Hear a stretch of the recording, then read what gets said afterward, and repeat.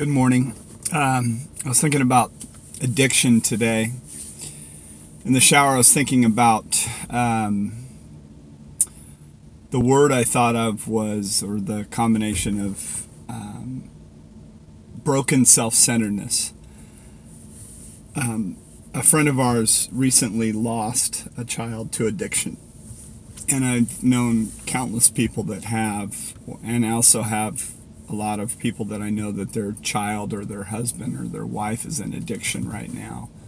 And addiction sucks because it not only hurts the person that's choosing to go down that path, but everybody that's around them. I did a lot of damage to other people in my addiction, not only myself, but that broken self centeredness is what I'm coming from, is that we have this um, insecurity, this inward focus, this isolation when you start going down that path of addiction. Starts out in experimenting and trying to numb brokenness within. Then all of a sudden you pile on guilt and shame and con- self condemnation to the point that there's no real returning. Uh, you don't see any value in your life. Um, and that's what I saw with this mother's post that I know she's an amazing mom. Um, it's a family friend of ours, and uh, she was questioning herself. And this post is specifically for her at, that you know we have that free will to choose the path that we're going to go down. Um, and we as parents try and pour into our children as much as we possibly can, but in the end, we all have that choice of which way we're going to go. Um, and Patrick Carnes is an elite, a leading addiction expert in the country, one of the best. And he says that there are two things that are at the root of all addiction, which is feeling unloved and unlovable.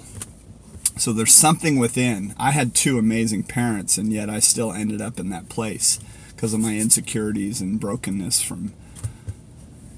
I don't know what exactly it was, but that's the case is that I was in that place and I was trying to feel better about myself. So I started taking you know, drugs and drinking and using women and doing everything I could to fill that void within me. And it, it never did. It just kept getting worse and worse. Um, but, you know, Rich Mullins says our only hope is the love of God. And that's where I believe people can find freedom. Because we weren't created to live a life centered in self. We were created to be in union with Him and to be able to love Him and to be able to love others when people in addiction, what I've seen over the years is people that understand that they have value that they never saw before. Now they get the fact that they're created created for something more than just living a life centered in self. Now all of a sudden their life opens up and they're able to walk in a newness of life.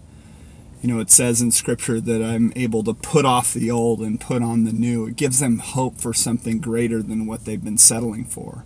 And then the entire family unit can be healed in that you know and and but we have to choose. I've had countless people that everything is there. They have a loving family. They have everybody else trying to guide them into a recovery program and yet they chose not to the reality of it is is that we all have that choice within to choose the path that we're going to go down we have brokenness but we have to make that decision that, man, for me, it was in a bathroom mirror saying, God, help me. I can't stand the man I'm seeing in that mirror, and I'm going to trust you, God, with my entire life. I don't know what that's going to look like, but I'm going to trust you. I'm not going to incorporate Jesus into my life for a better day. I'm going to submit my life to God and see what happens. And freedom happens. Where the Spirit of the Lord is, there's freedom. So it's trusting God and you know, as Rich Mullins said, our only hope is in the love of God. And that's what I've seen countless lives being transformed by the goodness, grace, and mercy of God. And families healed because they made that choice of, you know, God help me. I need help.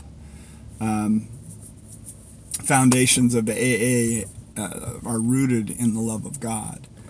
People coming to the end of themselves and walking in a new way. Um, it's good stuff, and my heart goes out to the, family that lost their child, and uh, just don't carry the weight of their choices. That's that's my point at the root of it. Don't carry the weight of somebody else's free will choice, because you're an amazing person. God bless you.